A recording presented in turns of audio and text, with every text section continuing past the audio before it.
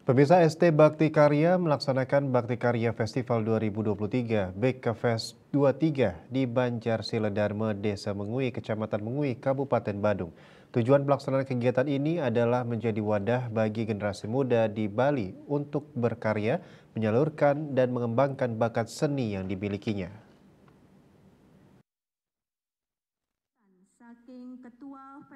Ketua Panitia Bakti Karya Festival Made Surya Darmadi mengatakan seni dan budaya di Indonesia banyak mengalami modernisasi dari yang tradisional menjadi lebih modern. Penyebabnya adalah banyaknya pengaruh dari dunia luar yang mempengaruhi kebiasaan masyarakat. Seni dan budaya masing-masing mengalami modernisasi dengan inovasi yang berbeda, tetapi tetap saja keduanya masih mengikuti pakem-pakem yang ada. Seiring berjalannya waktu, masyarakat umum khususnya generasi muda mulai mengalihkan perhatiannya dan terfokus pada kesenian dan kebudayaan modern.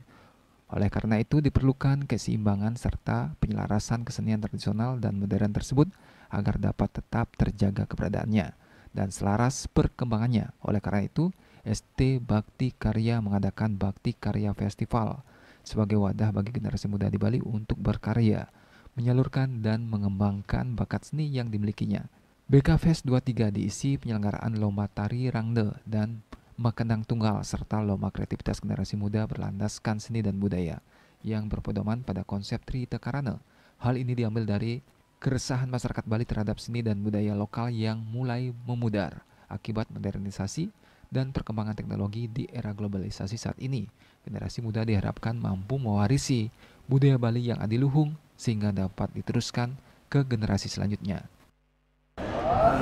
ini lomba rangde sarang mekenang tunggal yang pesertanya ada delapan peserta dari Gianyar, dari Klungkung, dari Tabanan, dari Badung juga ada. Yang selaku ketua panitia di KPS mengucapkan terima kasih yang sebanyak-banyaknya kepada pemerintahan Kabupaten Badung yang telah mensupport kegiatan Lomba Rangde dan Mekenang Tunggal Putih. Berbekal mengitani, Nyoman Suardana mendukung kegiatan yang dilaksanakan ST Bakti Karya.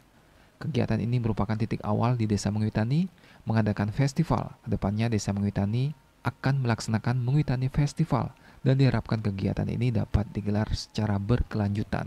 Eh, festival Barong, Festival Kendang Tunggal, makanya kami sangat mendukung dengan adanya kegiatan ini harapan kami kepada anak-anak kami khususnya desa Muitani mudah-mudahan dengan ada ini kita bisa mempertahankan seni budaya uh, adat uh, yang diwariskan oleh Republik.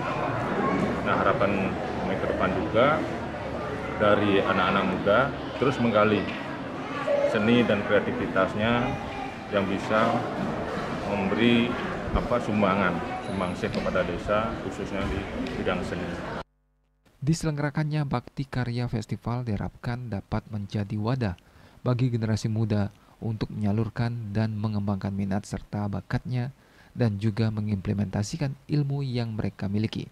Harapannya, terlahir bibit unggul generasi muda untuk turut berkontribusi dalam melestarikan seni dan budaya, yang nantinya generasi dan budaya baik tradisional maupun modern tersebut dapat berjalan beriringan dalam setiap perkembangan zaman. Saputra Bali TV.